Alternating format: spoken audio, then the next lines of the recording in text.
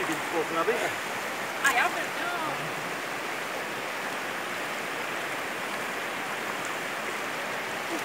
Oh.